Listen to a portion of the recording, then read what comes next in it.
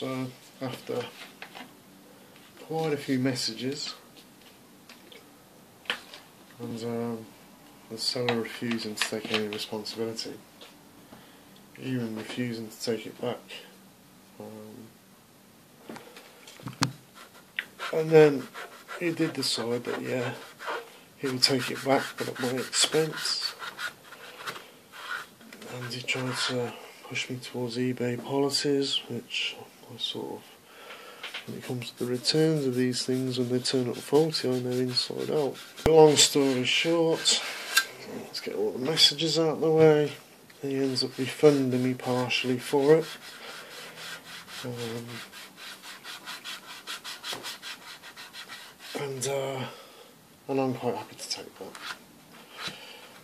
I'm quite happy because off camera, but I'm going to do it again on cameras. I did an insulation test between the between this. There's no earth on this.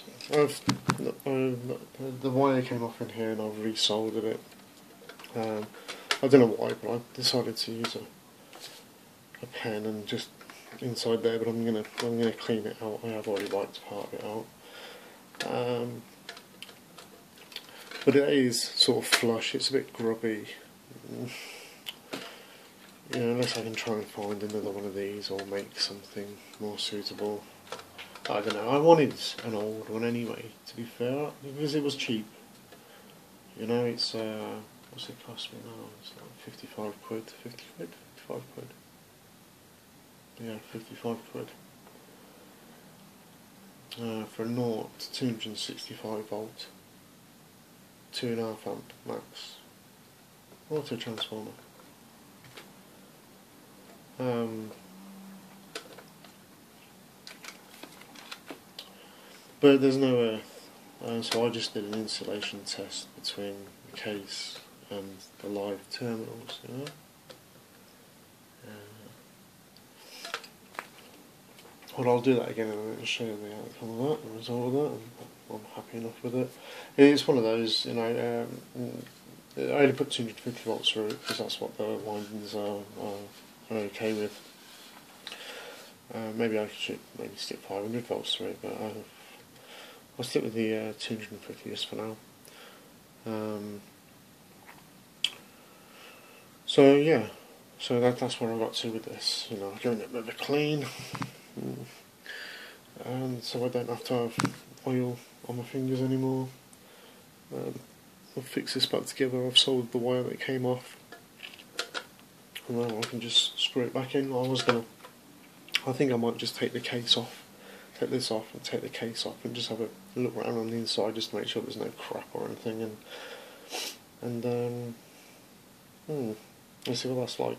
Well, I'll come back and do that in a minute because I've just put the kettle on to make a cup of tea, so I'm back in a tick. Okay, let's. Uh...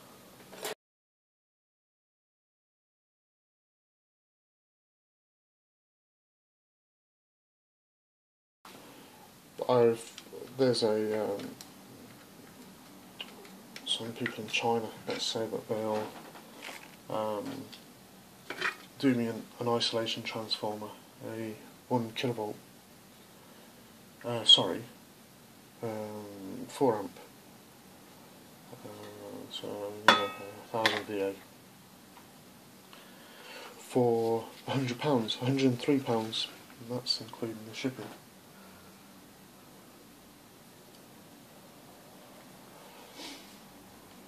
So he said he'd been in here and given it a good clean out and everything. So it'll just be interesting to see if I can just push this down in there. I don't want to damage the windings. I'm just trying to see if there's lots of dirt. It doesn't seem to be. They don't look too bad, do they?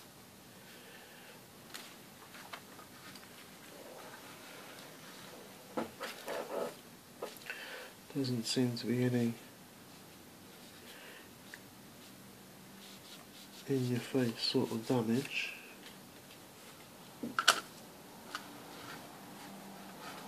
And you know, I'm not professional on this or anything, but I'm pretty sure if there was in your face damage that I'd be able to notice that But there isn't. That's, that's good, that's a good thing. Clean. It's not a case of. I just want it to be clean.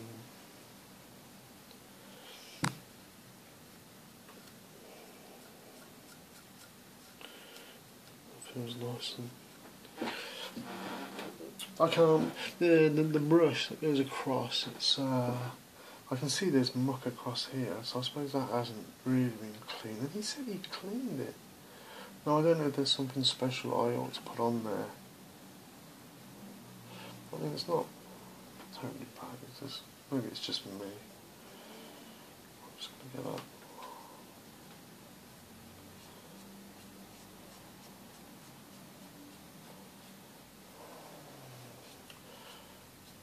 This uh, cloth's just got a little bit of alcohol. in it.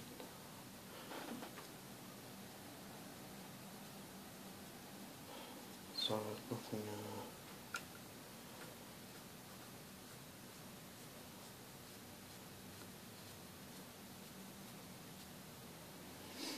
I think it's been used around the halfway mark quite a bit. You can see that. Let me just have a look.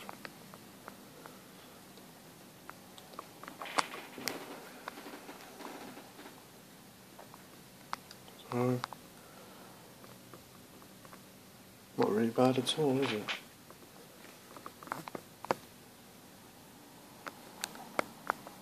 So,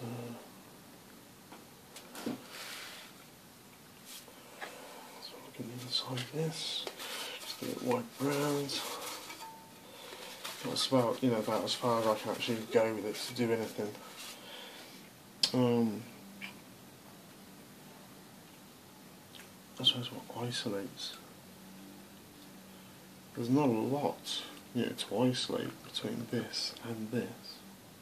I mean, there's you know, there's not like big gaps or anything. Or it's all very close, but I suppose at least the case does have these, so it can't be pushed in unless you you know push in these bits. But there doesn't seem to be any sort of damage on here whatsoever, no dents or anything like that. So I'm quite happy that you know that's probably not been terribly abused or, or anything like that. So.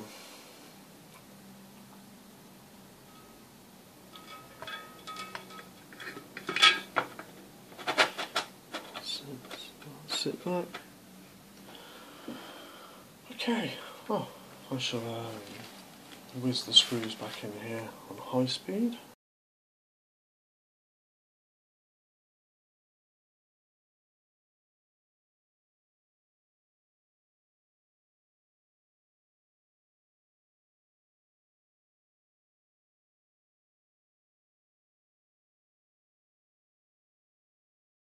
Right, so that's that's on zero. Because actually in there it is you've got zero. So you've got a gap there with no windings. So the brush goes over onto a no contact point, which is good.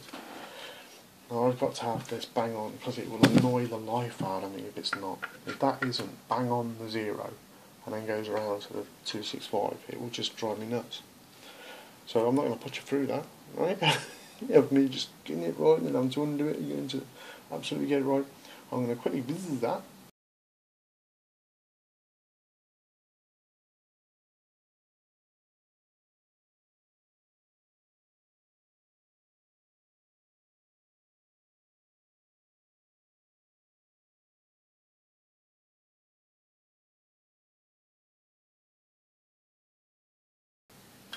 Perfect.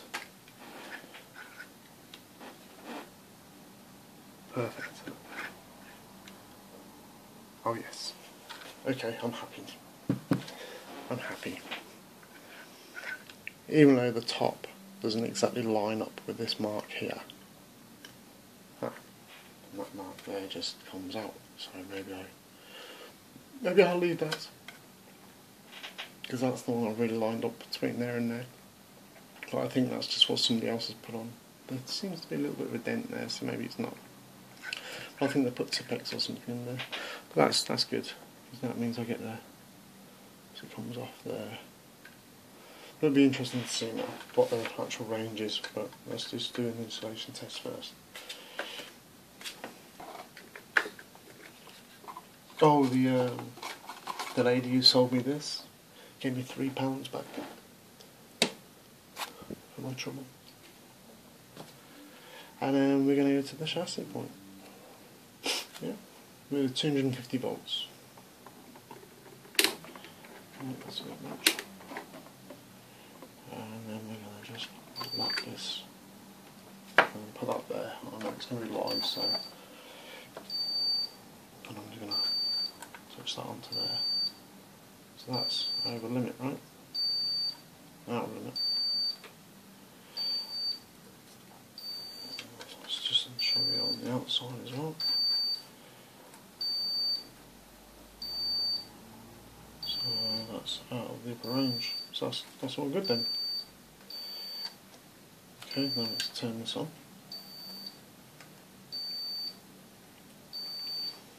Hundred and well, it's set on.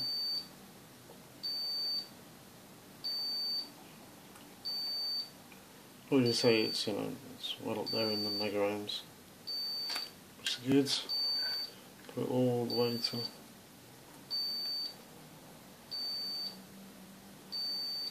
That's like 135 mega ohms, so that's, that's well in the clear. Well in the clear. That's all good.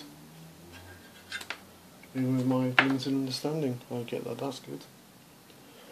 So, there we go. I now I'm going to put a power into it. Um, I shall connect so I'll just type it into this area. So I shall connect using uh, this power block here. Taking those out. I'll get the cable and I'll run the cable from here to the uh, transformer. That is um, that's a brilliant piece of kit that is. That looks like really helpful and it's connected to that now. You can see behind with the blue and red buttons. That's an RCD, inline RCD